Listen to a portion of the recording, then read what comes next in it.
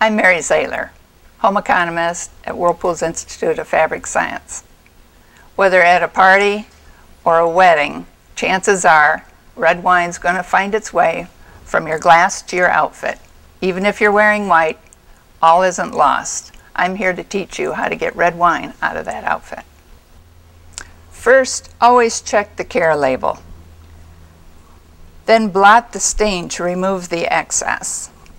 Pre-treating can begin while you're still at the party by dabbing the wine stain with some club soda.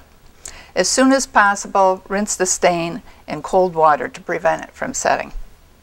For dried on stains, soak the garment in a mixture of detergent and water for up to 30 minutes. After soaking, wash the garment in the warmest water safe for that garment. Again, you can find that information on the care label. At the end of the cycle, check and make sure the stain's been removed. If need be, you can repeat the process. This time try some liquid chlorine bleach for whites or color safe bleach for colors. Then air dry the garment and make sure the stain's been removed.